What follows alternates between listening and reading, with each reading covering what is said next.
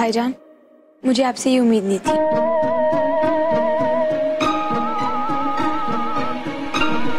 तुमने मुझे अपनी छोटी से छोटी बात बताई है, लेकिन इतनी बड़ी बात तुम मुझसे छुपा गए असद।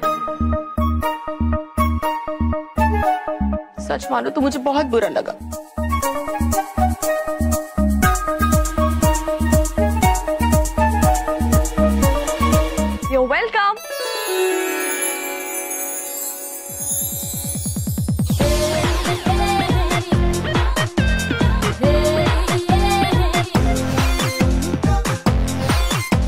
Elena?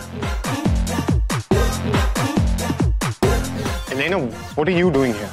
Zoya, मुझे यहाँ लाया She said if Ami say yes, you will say yes.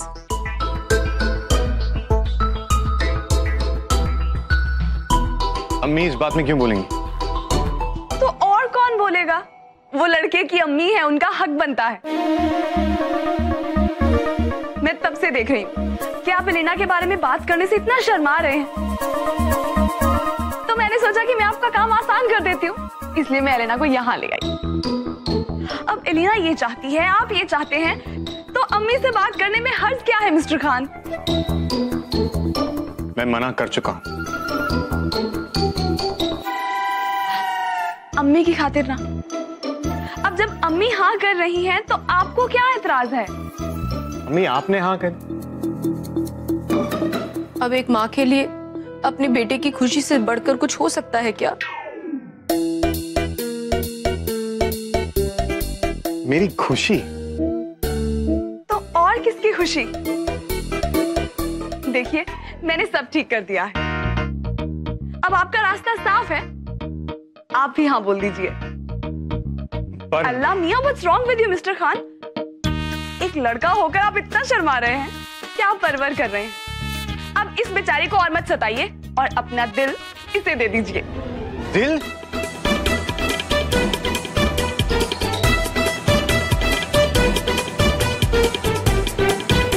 दिल। I'm sorry. पर मैंने इन्हें बता दिया था कि आपने मेरा दिल तोड़ा है। हमें आप दोनों के बारे में पता है। और आपके टूटे हुए दिल के बारे में भी। आप बेअक्कल हैं इसका शक तो मुझे पहले से ही था। लेकिन आज ये शक यकीन में बदल गया। मैंने इनका डील तोड़ा है। डी ई ए एल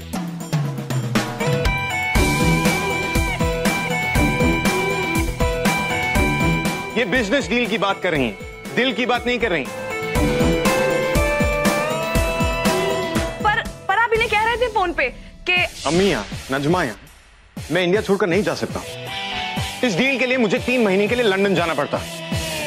और मैं तीन महीने के लिए अम्मी को छोड़कर लंदन नहीं जा सकता।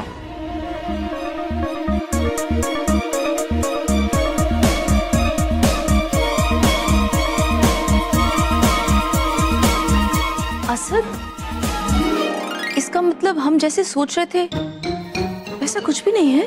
बिल्कुल नहीं अम्मी। और आप इस छोटी सी बात को कहाँ से कहाँ ले गई? अपने ख्याली पुलाव में अपने अम्मी को भी शामिल कर लिया I am extremely sorry for the misunderstanding But but कुछ लोगों को दूसरों के काम में इंटरफेयर करने की आदत होती है। It's okay Asad. And I must say, Zoya को तुम्हारी फैमिली का बहुत ख्याल है।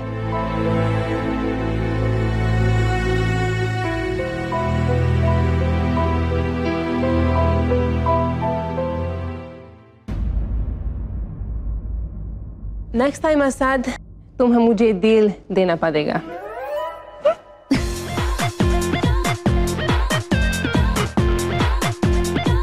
बाय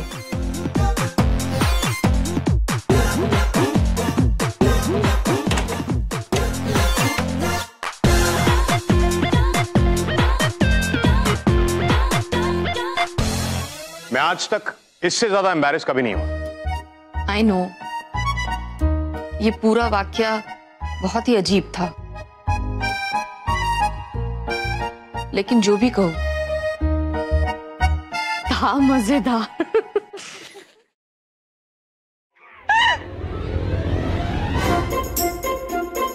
एम सॉरी फूफी आई नो मुझसे गलती हुई है। पर मैं क्या करती? मैंने जहाँ पना को खुद मैंने, मैंने मिस्टर खान को खुद फ़ोन पर बात करते हुए सुना। और उसके बाद जब मैंने लीना को ऑफ़िस में देखा तो उसी चक्कर में मैंने दो और दो पंद्रह बना दी अब मुझे क्या पता था कि दिल नहीं डील टूटा है।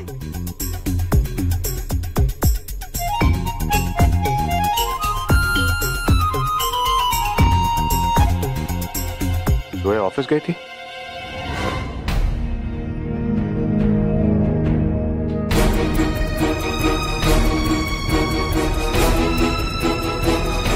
जो लड़की मेरे निगाह से भाग गई थी, उसे मैंने अभी यही ऑफ़िस में देखा sir blue jeans white top में थी सर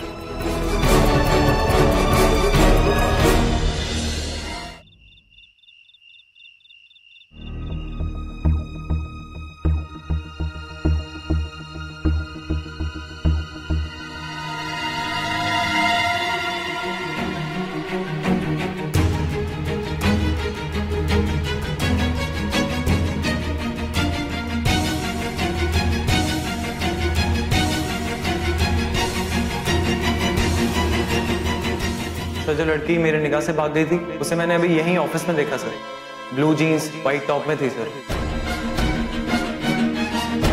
मेरे घर वालों की इतनी बेइज्जती करी है उस लड़की ने, मेरी पूरी ज़िंदगी बर्बाद कर दी।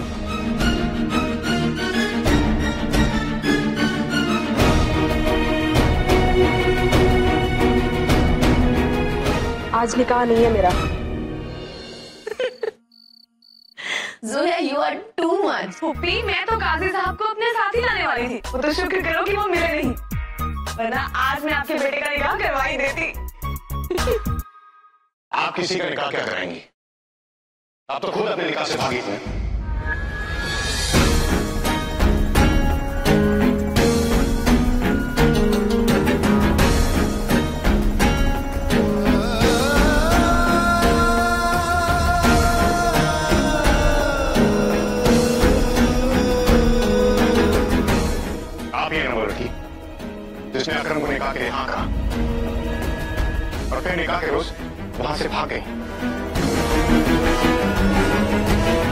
आपके लिए दुनिया में हर चीज़ एक मज़ाक है।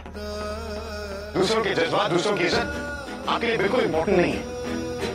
आप बेवजह मुझ पर इल्ज़ाम लगा रहे हैं। आप एक तरफा कहानी सुनकर मेरे बारे में अपनी राय कैसे बना सकते हैं? आप कम से कम मुझसे तो पूछिए कि एग्जैक्टली हुआ क्या था। मुझे कुछ पूछने की ज़रूरत नहीं है। मैं आपको अच्छी तरह से जान गया बगैर सोचे समझे फैसले लेती हैं। और जब उन फैसलों के नतीजे सामने आते हैं अपने आप को मासूम साबित करने की कोशिश करती हैं। जैसे एलेना वाला मसला आपके लिए सिर्फ़ एक मज़ाक है। इतनी बड़ी बात हो गई, आप यहाँ बैठे हंस रही हैं, जैसे कुछ हुआ ही नहीं था। मिस्टर खान, बात को कहाँ से कहाँ ले जा रहे हैं? और जहाँ तक बात है मेरे खुद के निकाह से भागने की तो मैं उस निकाह के लिए तैयार ही नहीं थी। अगर आप तैयार नहीं थी तो पहले भी बोल सकती थी। क्यों निकाह के रोज किसी के खानदान की इज़्ज़त का तमाशा बनाया आपने? आपने उनके बारे में एक बार भी नहीं सोचा कि बेचारे अकरम और उसके खानदान पर क्या बीती होगी? आप जानते हैं आप कैसे लोगों की तरफदारी कर रहे हैं? अब खुदा के लिए मत कहिएगा कि अकरम और उसके खानदान वाले गुंडे और आपके साथ ज़बरदस्ती कर रहे थे। मैं अकरम को अच्छी तरह से जानता हूँ। वो पिछले तीन साल से मेरे ऑफ़िस में काम करता है। उसके बारे में झूठे किस्से मत बनाइए। मैं जानता हूँ गलती आप ही की थी। आप ये बात इतनी यकीन से कैसे कह सकते हैं? How can you be so judgemental क्योंकि आपने ये बात हम सबसे छुपाई।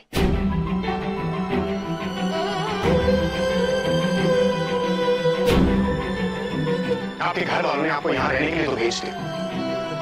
लेकिन आपकी हरकतों के बारे में बताना तो भूल गए।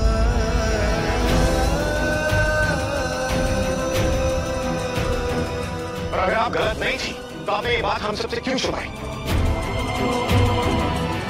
असर। ये बात मुझे पता थी।